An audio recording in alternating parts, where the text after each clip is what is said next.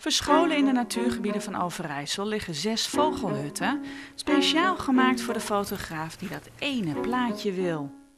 En dit is helemaal geen grote lens, is eh, maar een 300 mm met een uh, converter waardoor je een iets grotere krijgt. Een uh, 1.4 waardoor het 420 mm is geworden. Ik, ben, ik heb dus wel roofvogels. Dus wat regelmatig gebeurt, dat, uh, dat er hier een, een sperwe langskomt. En die komt dan uh, een, een, vogel halen. Maar ik vind uh, de, de, de verrassing is het leukste eigenlijk, wat er ook eigenlijk komt. Want je weet het nooit. Tien jaar geleden bouwde fotograaf Han Bouwmeester de eerste hut. Waar precies, dat is geheim. Dat geheim altijd. Weet je, het is niks geheim, maar we proberen het niet aan de grote klok te hangen, laten we het zo zeggen. We gaan nou naar de hut toe. En ik voel het dan aan het, ik zou bijna zeggen, ik voel het aan mijn water. Waterhoorzen, dat is het hier.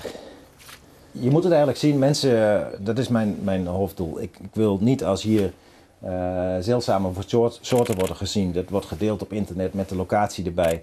Dat als hier klanten zitten, het zijn toch klanten, fotografen zitten die gewoon een heerlijk rustig dagje willen hebben.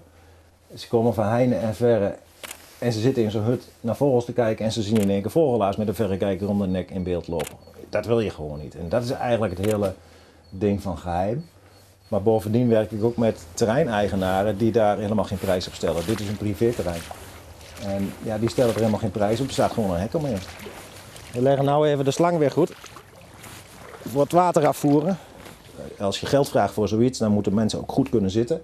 Net als makkelijke stoelen. In het voorjaar zitten ze echt van, van donker te donker dan wil je ook eigenlijk dat ze zo goed als geen verstoring voor die hut hebben. dat alles maximaal erop gericht is om zoveel mogelijk vogels te zien en dieren te zien. Hier staat het al, hè? beperkt voeren.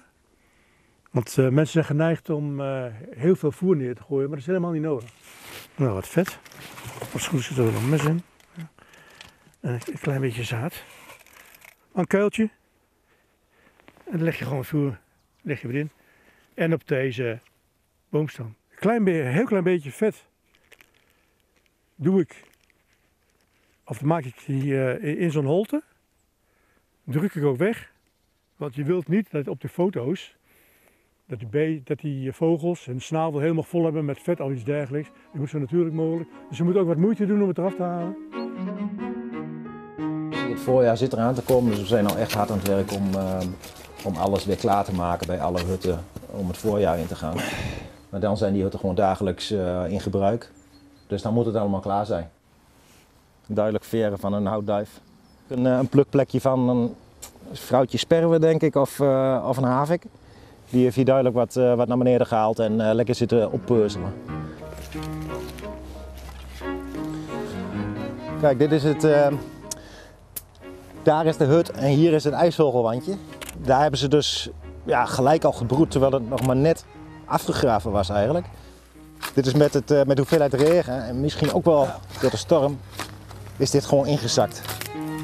Ze zijn aangelegd in overleg met de ecologen van Landschap Overijssel. Dus ik, uh, ik heb er niet zoveel moeite mee, omdat het heel gecontroleerd gaat. Vind ik dit een hele verantwoorde manier om toch uh, natuurbeleving te hebben. dicht bij huis, op een van de mooiste plekken in, in onze provincie. het is een vorm van jagen, van verzamelen. Maar zonder dat je daar uh, de levens voor, voor neemt. Je doodt niemand of niks.